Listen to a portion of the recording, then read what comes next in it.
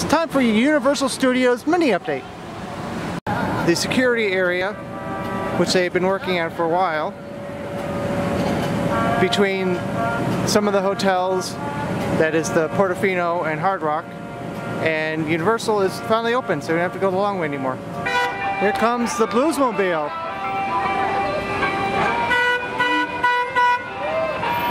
They were making announcements earlier, which I never heard them do here. I always thought they should. But they're not saying anything now.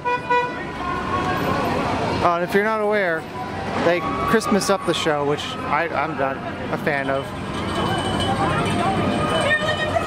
Nor am I a fan of people standing in front of my shot.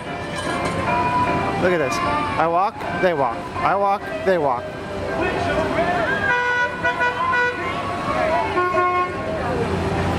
Can you see the Blues Brothers passing Marilyn Monroe though?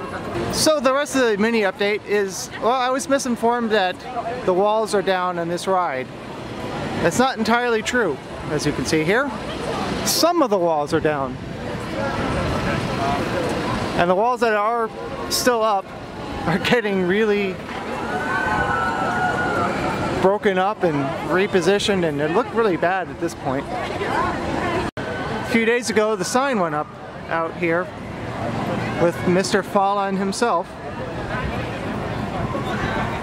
And this is what I was talking about with the walls. They've been mismatching as far as color for a while now. But now half of the logo is missing over here. But there's still plenty of walls left. Here's a random arm, just hanging out.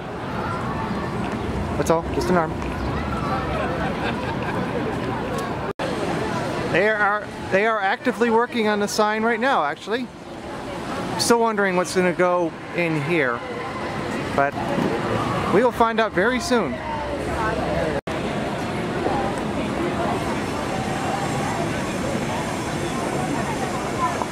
First, I didn't like the bag the bag scanners, but they're a lot easier. I actually prefer them now. There's one more thing I'm going to show you, and it's over by this Hard Rock. Same thing, basically, but but if you stay at the Hard Rock at Universal Orlando or you visit the hotel while you're here,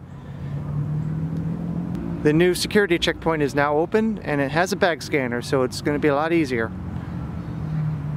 That is my mini update on Universal Orlando. Thanks for watching all the way through and please exit to the gift shop.